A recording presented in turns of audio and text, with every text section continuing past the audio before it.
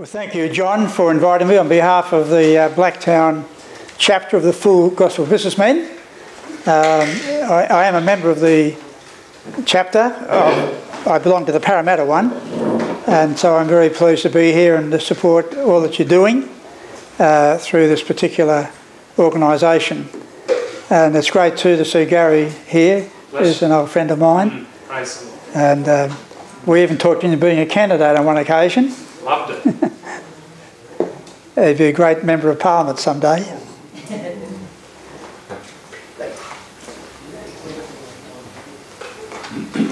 so I've just come from parliament with um, some of the organisation that we, I'm involved in, and today was the deadline for putting together our newspaper, the Family World News. Uh, every month we print this newspaper, so it's I call it my baby. Uh, in putting together what I believe what God puts into my heart uh, to share with other people. So I feel very happy because the baby was born today. Uh, I finished the paper. It's now the printer. so,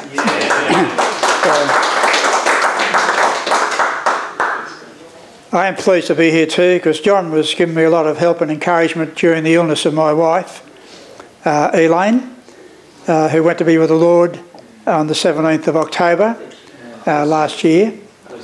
But she was a, a, wonderful Christian and a far better Christian than me, although I sometimes think women are closer to God than men. I'm not sure why, it's whether because they have babies or something, but I, I think there's something spiritual about women. We men have to work at it. Uh, but I think for women it sometimes comes a bit naturally. And I know in my wife's case, she was a wonderful Christian lady. And for three years, she fought the cancer and uh, did everything the doctor said uh, should be done. Perhaps it might help to beat it with uh, about three times going through chemotherapy, going through radiation, injecting radiation isotopes into a body, which is very unusual. It's a, an experiment which was a complete failure, so I don't recommend it to you if anyone suggests it to you. Maybe they'll get it, improve it in due course. Even to have an operation, a specialist said, Look, I think I can cut the tumours out of the liver. So we'll have this operation, and they cut my wife.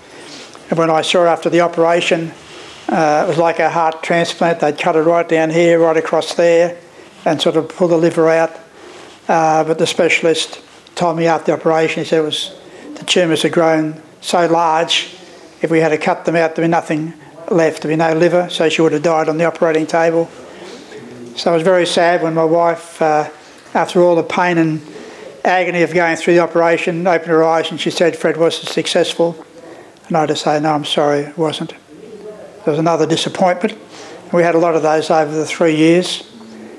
And uh, after that radiation treatment, we thought that might be successful. And when the specialist said, no, it's a failure, but nothing more can be done, and said to both of us, uh, just put your wife into a palliative care and just let her die. And that's pretty demoralising when that someone says that to you when you've been looking to them over those years, the same specialist. And uh, Elaine was very hurt. She said, I just felt like he just threw me away. Uh, nothing more could be done. And uh, we had both had a lot of tears that day. And uh, we went down from the surgery to the dining room and she said, "I just have a cup of coffee or something to help me get over this. And while we were there, Brad Hazzard, a member of Parliament, a minister in the government, was there with his wife, who's a doctor. And they saw that we were very distressed and came over, and it was very nice. His wife gave us a lot of comfort and encouragement on that occasion. But three years before that, uh, when the Elaine's GP diagnosed the cancer and said, uh, You'll have to go straight to emergency at St Vincent's Hospital and get an ambulance to take her up there straight away. And when we got up there, they did tests, and, and the specialist, Elaine's very practical lady, and she said, Well, how long do I have to live?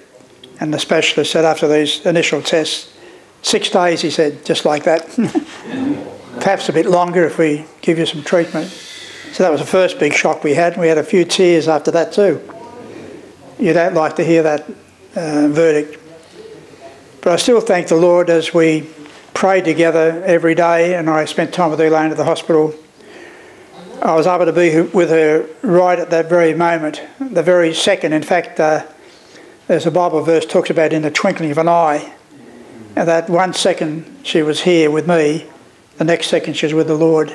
Amen. And as I prayed with Elaine, and they told me she's very close to dying, and Elaine knew that, and I said, uh, as I pray to Elaine, you can see me now, Elaine, but shortly you're going to open your eyes up and you'll see Jesus Christ. Yes. So the next person to see will be Jesus. And she said, Yes, I know, I know that. And she had absolute confidence that she'd be in the Lord's presence. So we always prayed. Uh, the final prayer was after praying for healing and all the other things you pray for. We always pray, but your will be done. We wanted your will to be done, Lord. If you want Elaine to be with you in glory, you've got a special purpose for her there. You need an extra angel. Uh, so be it. We're not going to be critical or lack faith and trust in you that our lives are absolutely in your hands. So Elaine was a wonderful blessing to me and strength, and we spent nearly 15 years in Parliament together, which is very unusual to be a, a husband and wife team.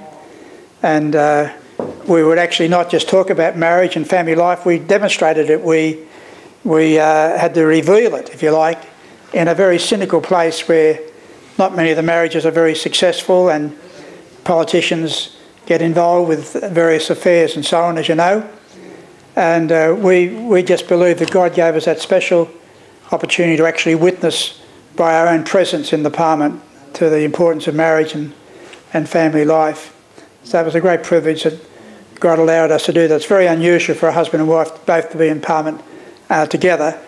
And uh, I'm glad when they, I was first elected, they built a special seat for me because the Labor government was in power and uh, they were very angry that I'd got elected. So they wouldn't give me a seat and they wouldn't give me an office. But eventually the carpenters came in and they built the seat. And the word around Parliament was this. They said, what are they building in, in the chamber? Oh, they're building Fred Nile's pulpit. and uh, they meant it as a joke. But I said, Amen, that is my pulpit. You don't know what you're going to get. And I get the word of the Lord every opportunity I had and every time I was speaking to bring in God's word uh, from the from the Bible. Because Eli and I, as evangelicals, as Bible believing Christians, we believe the Bible is literally the Word of God, and Jesus Christ is the living Word of God. And those two truths we hang on to. Also, that we believe Jesus Christ died on the cross for our sins and shed his precious blood to wash away our sins, that we, through faith in him, asking for forgiveness and accepting him as our Saviour, we become as white as snow, as white as wool. We're all sinners, saved by grace. And I'm very, I'm very much aware of that, that I'm only here by the grace of God. And everything that I've been able to achieve is only through God's grace and God's goodness. Amen. We were chatting at the table earlier, and I think Paul asked me where, where did I start off from in King's Cross, which is true. Uh, my father was a cab driver and my mother was a waitress. And um, he'd go to this cafe and have his lunch each day. And, and my, my mother told me later, she said, I thought he had his eye on me. Uh, but he was very shy, so it went on for some months before he actually said anything. But eventually he made some remarks and they started going together and they got married and I was their first son. So I'm very much the son of a King's Cross taxi driver. But I, I, really believe, though, as it says in Jeremiah, that God knows us from the womb, and we believe that God gives that gift of life from the womb. That's why I'm absolutely opposed to abortion, because there is a real person there in the womb. Right. They're not out of the womb yet, they're not born, but they're there. That's another gift of life from God. And uh, I've always had that sense when I, after I came to know Christ as my Saviour, that that was how God planned my life that somehow I was meant to come back to King's Cross and to bring the gospel and to do all I could to clean up King's Cross, to fight all the corruption, the sin, the vice, and so on.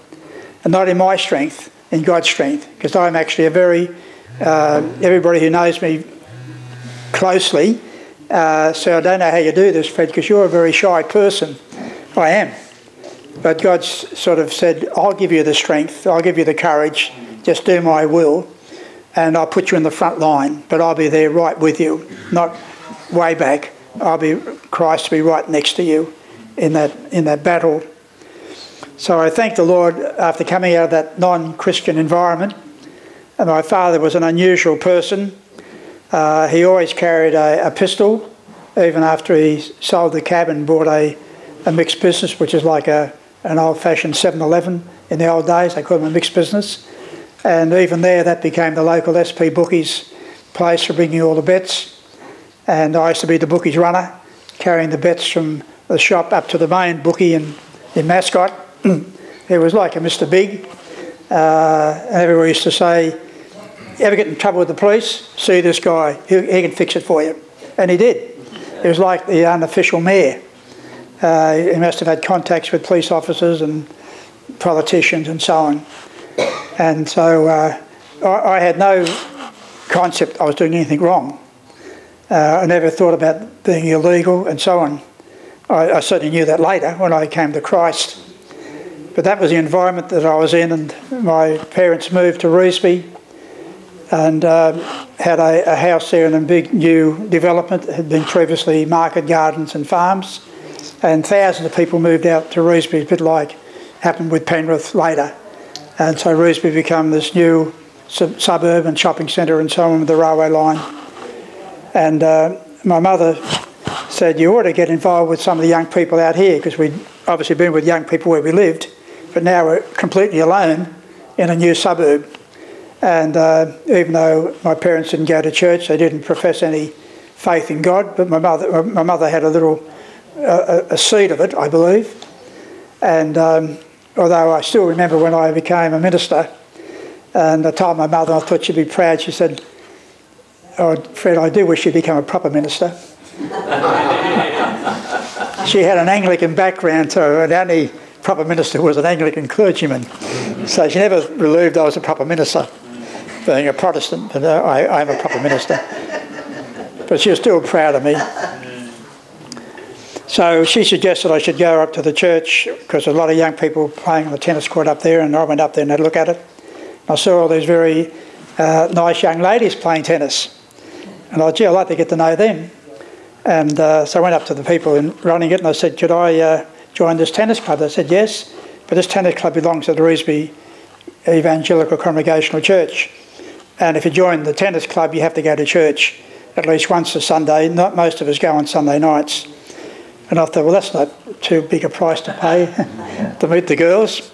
And of course, uh, one, of them, one of them became my wife, Elaine, and that's going way back to 1952 when I first saw her. And she was, they always told me, and, I, and it was dead right, they said she's the prettiest girl in the whole group. So I married the prettiest one. And, um, and so I was obviously attracted to Elaine, and we started going together for a couple of years. Uh, but I was talking to a mother her mother, who's my mother-in-law, and she told me a little story. She said, uh, you hadn't been going up to that church very long, she said, before Elaine came home. And she said, all she talked about was this, this boy, Fred. So I think I had my eyes on Elaine, but I think she had eyes, her eyes on me too. So uh, I was pleased to hear that. So I started attending the church, and I didn't know I'd walked into a sort of Billy Graham style church where the old-fashioned pastor Simon Buttle. He'd preach for uh, in the mornings on uh, building up the Christians and Bible teaching and so on. But at night he'd give a sermon, a Bible teaching again. But he'd always have an appeal for the gospel, like full gospel businessman. It was always preaching for a commitment, and he, he wouldn't just make an appeal once a month. Every night he'd make an appeal. Every time he preached, he made a, an appeal for people to come to accept Christ as their saviour. And so that was a bit of a shock to me when I first went to the church that night, sitting in the back seat, trying to be keep out of the way of everybody, all these religious people. And uh, I realised I'm in trouble because this guy, through his preaching, it was through the power of the Holy Spirit, was like a big sledgehammer hitting a, a, a large piece of concrete. And that was my heart. And uh, God must have known it's going to take a while to get Fred Nile on the right track. So I'm going to pound him Sunday night after Sunday night after Sunday night. So after about six months of that preaching, that concrete cracked. And uh, he said, anyone tonight who wants to accept Christ as their Saviour and believes Him as their Saviour and wants forgiveness through the blood of Christ, would they stand up and let me know? And so I stood up and uh, that night accepted Christ as my Saviour. And I thank the Lord for that. I was about 17 or 18 at that stage. Now, I didn't know as a young man, I, I was just going to say that was the most important decision I made in my life, and probably it is. The other one is who you're going to marry. But I didn't realise that decision was like an earthquake. That decision then put me in the centre of God's plan for my life. And my whole life was then going in a direction that God had planned. If I hadn't made that decision, I would have gone off the rails, I'm sure of that. Uh, because that very night I was with my brother, who's just a bit younger than me, and, uh, and the pastor, as he was counselling me, said to my brother who was standing with me, And what about you, Jim? Have you uh, made a decision tonight? And my brother said, No, I don't, I don't want to become a Christian. And he said, and, and it hurt me, hurt the pastor. He said, This will be the last time I go to church. He just walked out and he went on a different pathway. So that night, God opened up the, the pathway, the glory for me, and he went down the Broadway in the other direction. And uh, I love my brother and I witness to him regularly and I visit him and do all I can to help him. But he's, uh, you see all the poker machines here? Well, he's the director and treasurer of the Bankstown Trotting Club. And uh, his, my proudest achievement is leading someone to Christ. His proudest achievement is putting in $2 million worth of poker machines in the club. And he'll ring me up and say, Look, Fred, I want you to come over to the club. I'd like to show you what I've done the last week. We've installed all these new poker machines. And he is so proud. It's, it's an achievement. And uh, he's made the club successful in making a profit. And uh, he gets re elected every election. In fact, he just told me, I was just with him at Christmas, he said, uh, for the first time, he said, Fred, in this election, there were no other candidates for director treasurer. So not, not out of 20,000 people, not one person stood against me. And it's the first time it's ever happened. So he said they're all very happy with me, but that's his life. And, uh, and I thought perhaps I would have gone the same way with him, or maybe gone back to King's Cross, because I, I have a gift of organising. I thought maybe if I didn't come to Christ, I would be now organising um, strip clubs or gambling places or porn places up in King's Cross for the devil. But the devil plucked me out of hell and put me on the pathway to be his servant. Now, I still didn't know what it meant uh, as far as my future life was concerned. I, I had a job. I, I wasn't um, very ambitious when I left school after going through, and we both had some connection with Crown Street School, Cleveland Street School. And uh, I just wanted to get any job. I just wanted to get money. Uh, I was just, uh, this is before I became a Christian, I was just materialistic. And they said in this uh, employment agency, the Commonwealth Employment Agency, we've got a job for a, a, junior storeman at the airport. I thought, well, that sounds terrific, you know, aeroplanes and so on. But I was just a storeman, junior storeman, and you're the, you're the labourer. you, you sweep the factory out in the morning, you carry stuff for the, for the storeman who are doing things, packing things, you, you help them, you're their assistant. So I had no career, I was going nowhere. But it's amazing after I come to know Christ, my whole attitude changed, my whole life changed. It wasn't very long before the manager called me and said, I want to make you, uh, put you into the office now in charge of purchasing all the stuff you've been packing. You can be now the purchasing officer for the company. And I said, that's, that's wonderful. And then they made me assistant manager and so on. So I was, I was going in a career of business, and I thought, well, that's probably where I'm going to go. And uh, even though I, uh, I'd come to know Christ, I'd use my skills to serve Him, witness for Him in the office as I did. I regard me as a bit of a fanatic. I'd be going around the office and giving everybody tracts, uh, to get them to come to know Christ as their Saviour. So I got a bit of a reputation for that. But and then Elaine got a job in the same office, so we both were there, uh, witnessing for Christ in that office. Paul and Gray uh, down in Sussex Street, Sydney. So I got involved with church work, obviously, and I really went flat out with church work and probably overdid it to some extent. I was running uh, two, two uh, CE groups, one at the Revesby Church, one at the Panania Church, and they, I heard that they were short of a youth leader at the Newtown Church, so I volunteered to do that as well. Uh, on a Tuesday night, so I'd go down there and run a club for about 60 boys uh, in, um, in the main uh, shopping centre of Newtown. I got involved with Christian Endeavour and I was, enjoyed that very much. Elaine and I were both members of the CE group, which is like a Bible study group where everybody takes part every week and that helps to develop your leadership abilities and so on. But then a major change came in my life in uh, January 1990, uh, 1955 when I was just going on to 22. And it was a, a remarkable event where I was at a meeting and John Ridley was a preacher. Uh, he was a very wonderful evangelist. Uh, he's the man that sowed the seeds in the mind of the guy who wrote Eternity on the on the footpaths. Well, the man that was preaching was John Ridley, and he responded to that. Well, I was responding as well to this was a call from John Ridley to give your life to Christ, to serve Him full time. And so I didn't want to do that because I was very comfortable and getting a good wage.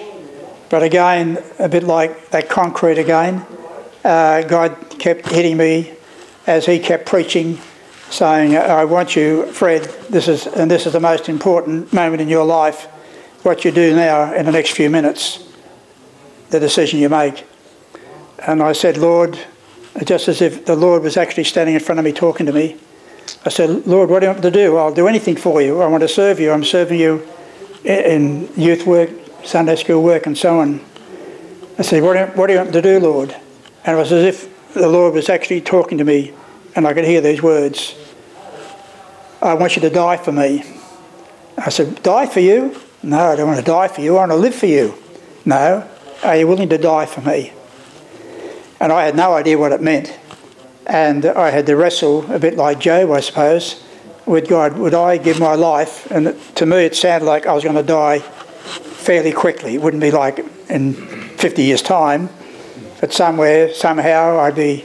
I thought a flash went through my mind maybe I'm going to be a missionary I'm going to be speared to death by wild natives in South America or something like that next year. And so finally, I, I waded up and I said, Lord, if you want me to die for you, I, I'm willing to die for you. Whatever you want for me, I'm willing to do. If, if you want my life, you got my life. Now, I had no idea what it all meant. I now know what it meant. Because what God was putting into my heart and the way He's led my life was I want you to take this Word of God, this, the Bible, and I want you to be faithful to that, not just in the pulpit in the church.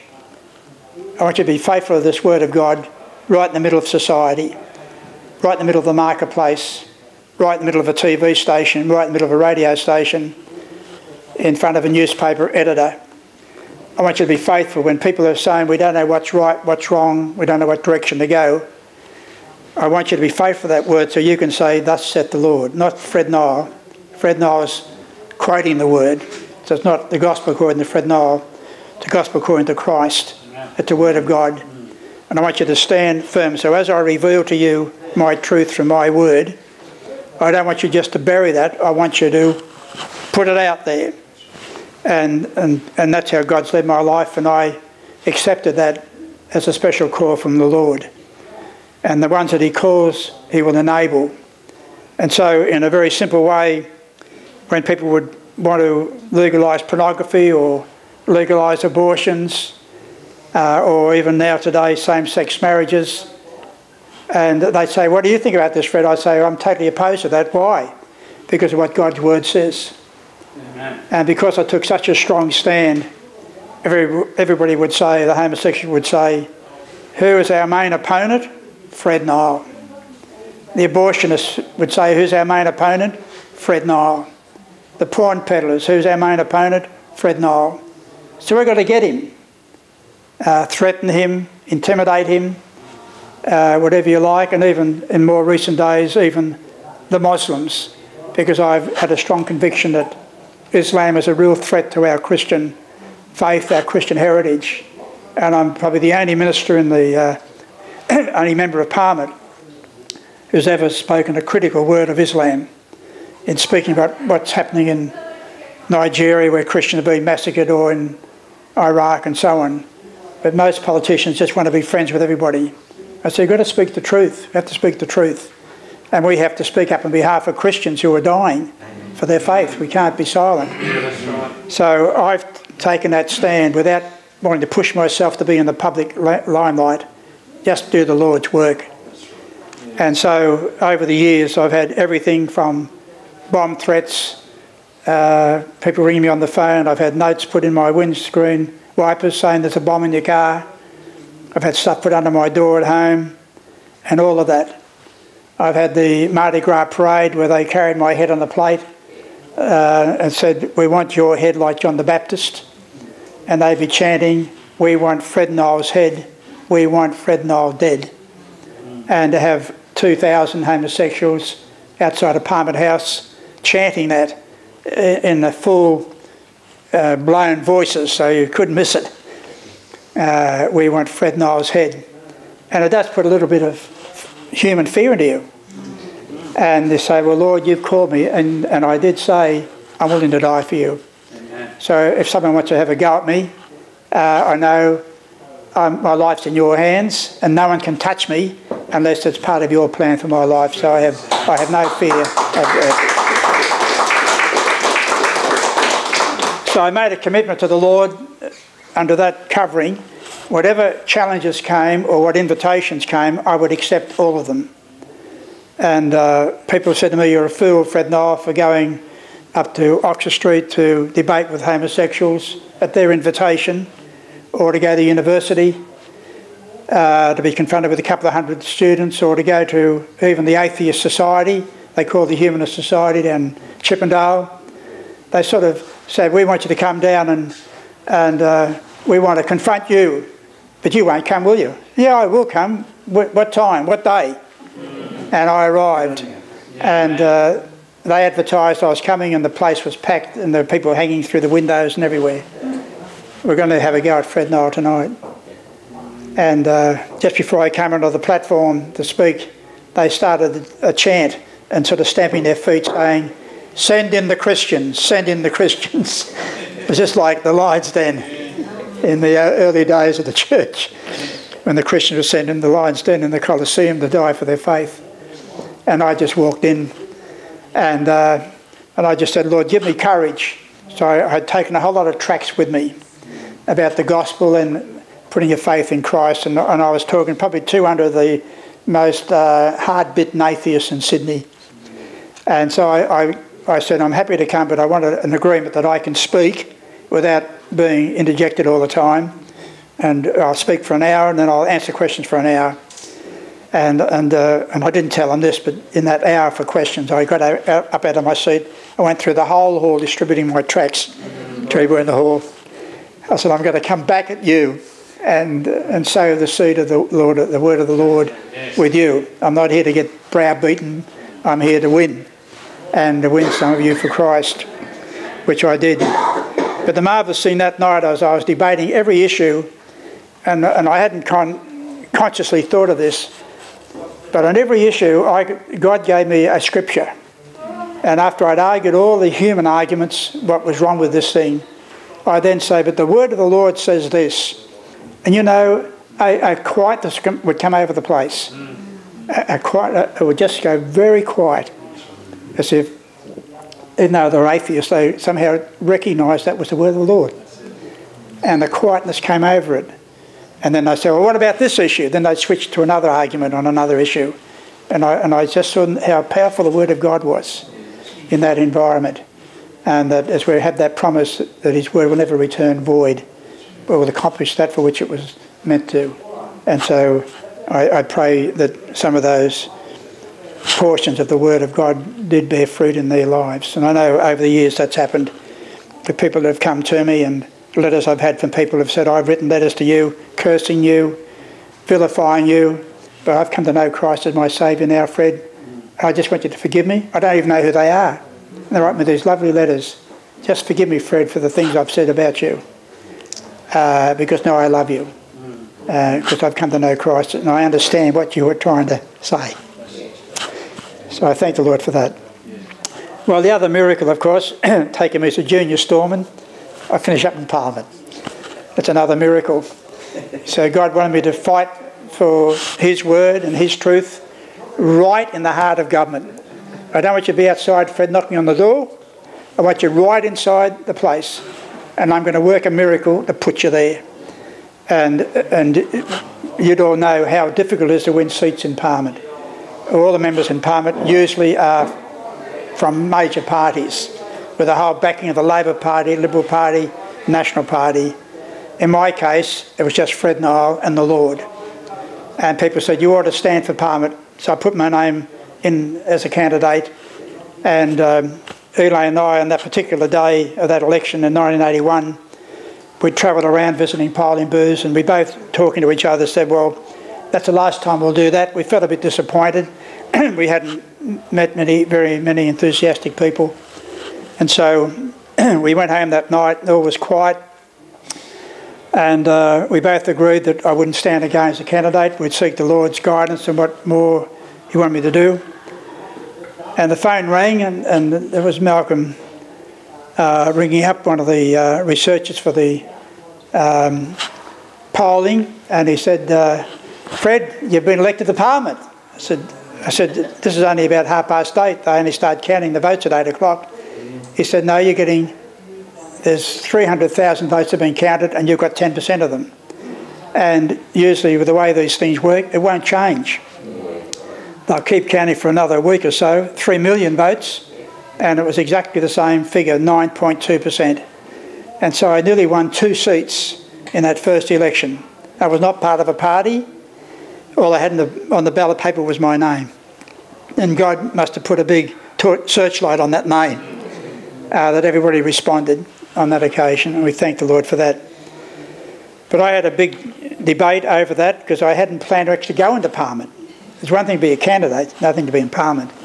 And I did a lot of heart searching and I had to search the Word of God. And one scripture that came home to me very strongly was in Romans chapter 13, verse 4 where it says there the government is to promote good and prevent evil. And why? And the Apostle Paul puts this twice in one verse, in verse, verse 4 of chapter 13. The government is a minister of God. And it had never registered with me before. Probably never. You probably read those words and it didn't click. The government is a minister of God. The government. And I believe because of that scripture, God was saying to me, I want godly men and women in government. I want Christians in government. I want men and women who will pray every day, Your will be done. We're here to govern under your authority, under your sovereign power. That's God's plan. I believe that's God's plan from creation.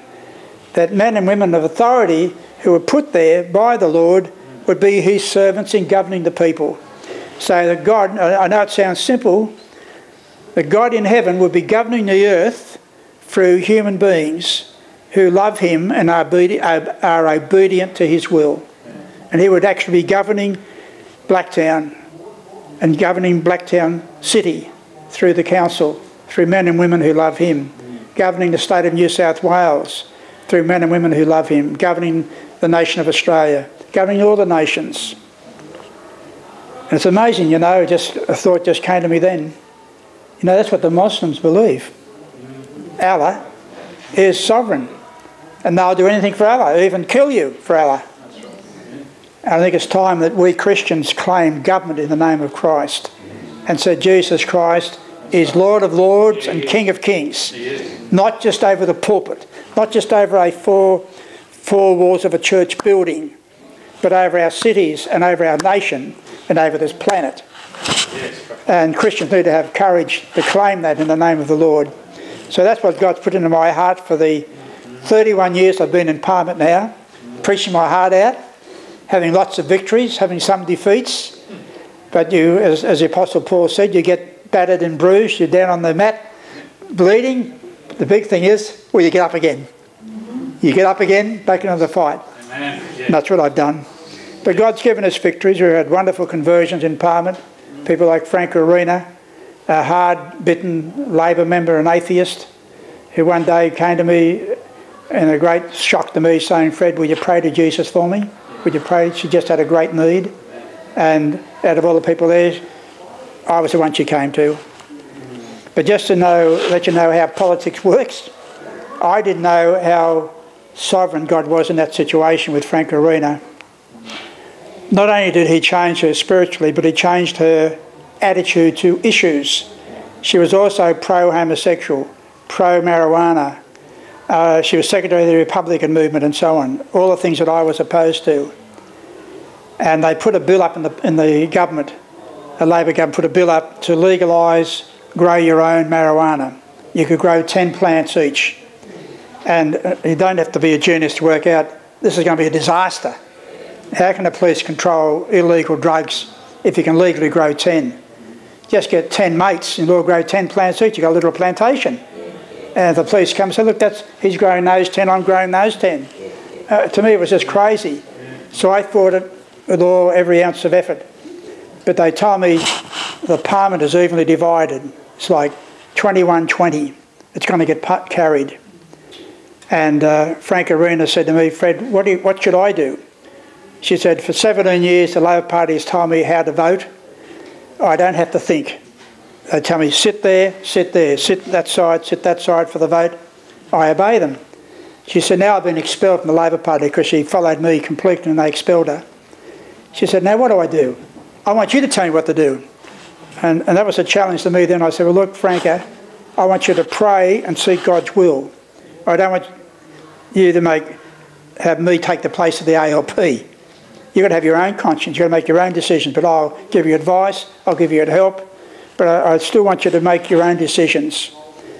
And so she said, okay. She said, well, I, I, don't want to vote for that marijuana bill now. I was going to vote for it, she said. And I said, well, that's wonderful. I hadn't told her not to vote for it, but she told me she wasn't going to vote for it. I said, great. Don't tell anyone else you're not going to vote for it. Because they're adding up all the names, and your names is on the side of the yeses. They're counting on your vote. If they know you're going to change your vote, they'll rip into you before the vote. They'll do all they can to change your vote. They'll threaten you and so on. So I said, keep as a surprise. Just wait for the last minute, just as they start to count the votes. Just come in and sit in the chamber with me. So everybody's sitting there very quiet, having this division. They divide the parliament for a, a serious vote. They ring the bells for five minutes so everybody can come in for the vote, so no members absent. And they're all looking around. It's almost like 20, 20, and then Franca Arena comes in. And they all expected to walk and sit with the ALP and, and the Greens and vote for the marijuana. She came and sat next to me. And we defeated that bill by 21 votes to 20. Her vote gave us a victory. So I believe God had planned the whole thing. He had it all under control. Don't worry, Fred. It's all under control. He gave us the extra vote. That's happened a number of times now in the Parliament in those years, those 31 years. I know one occasion Elaine was very ill and uh, we used to stay in a hotel just near the Parliament. And uh, I said, we're having a vote on the uh, lowering the age of consent. And I said to Elaine, well, I'm going to need your vote. So if, can you please get out of bed? I know you're ill and just be here for that vote. So she struggled over and it gave us another 21 to 20 and we defeated that bill on that occasion. So Elaine was very faithful. She had a number of other health problems as well as the cancer. She had lung problems. So the Lord confirmed those words. The government is a minister of God. So it's been a great privilege. I've broken all the records. They say to me, Fred, you're the father of the house. I say, I'm the grandfather now. After 31 years, no one's been there longer. But we're having battles. I've just come from Parliament now and I've just been battling uh, over the same sex marriage. And I've got some of these pamphlets here about it, just explaining. I know you all believe it's wrong, uh, but it just gives you some ideas what to do and how to tell your member of Parliament about it. We're also backing on the scripture classes. We want to keep scripture in the schools and the Labor and the Greens are trying to push the ethics classes to push scripture out of the schools. That's a special issue I did on that topic, and we're having a big battle. There's a, I was able to get the government to agree to an inquiry into the ethics course by Parliament, so that inquiry is being held right now. But we need to get people to write submissions to that committee saying, I want SRE, that's Special Religious Education, Scripture, and I don't want this atheistic ethics course in the school. And uh, we have to get everybody saying that, and, and the committee gets those submissions, and they, I hopefully they'll make that decision and recommend the ethics course be stopped. Because it is a disgrace in our Christian society that there are now some thousands of children being indoctrinated with atheism in our schools. That's all those classes do. The people who run them say, We're not here to teach the children what's right and what's wrong. They tell the children they can do anything. Nothing is right, nothing is wrong. There's no absolutes. They don't say to children, You can't steal. They say there may be circumstances when you should steal. So you can shoplift. Maybe some, some occasion, perhaps you might have to kill somebody. Depends on the circumstances. It's called situation ethics or relativism. It comes straight out of hell. As I said in the Bible, when people did what they thought was right in their own eyes, not the eyes of the Lord, but in their own eyes. Now we actually have a course in our schools teaching that to some thousands of children who I see as vulnerable, innocent children being brainwashed, indoctrinated. And the worst thing is when those children, those children grow up, they could be the next persecutors of the church. Those children are so indoctrinated against the Christian faith that there's no God, there are no absolute values, they will become our new enemies. And we don't want any more enemies. We've enough. That's what worries me. Somebody said, well, don't worry, for it's only a few thousand children. I said, what about the duty of care? We're Christians. We have a spiritual responsibility for the souls of those children who are now going to those ethics classes sent there by their parents. But they couldn't go there if, they weren't, if the course wasn't there. So I just pray he'll help me in getting that ethics course completely uh, scrapped, repealed. But you probably saw the Herald, there's been great big ugly cartoons of me uh, making out like I'm a dictator, trying to run the state and tell people what they should do. But as I said in the beginning, I want to be faithful to the Word of God. And I'll say that no matter what happens to me, or what criticism I get, or attacks I get, I must be faithful to the Lord. So I thank you for letting me share with you tonight. And I just pray that each one of you will be faithful to the Lord. But you can't be faithful unless you know Him. And the first thing is to accept Christ as your Saviour. I was trying to think of how it works. Like, I think God has in our hearts a God empty space, a God shaped space. And when people say, I never feel really contented, I never feel really satisfied, so they try to find it through drugs or alcohol or sex or something, because that space can't be filled with alcohol or drugs. We fill with God with God's Holy Spirit through Christ. So that's what we have to do. And once you make that step, the next step is then to put your life under God's control, under new management. Not just to go to church on Sundays, but to serve the Lord seven days a week. Be one of his frontline soldiers, whether you're a man or a woman, to serve the Lord in whatever way he wants you to do it. Like Gary's done it all his life and I know others here have done it as well. He has a purpose. We're not identical. We don't all have the same ministry. Each of us has a, a, a different ministries that God gives to us. The main thing is to do what God wants you to do with all your heart, mind, and soul. So God bless you tonight. Thank you for having me here.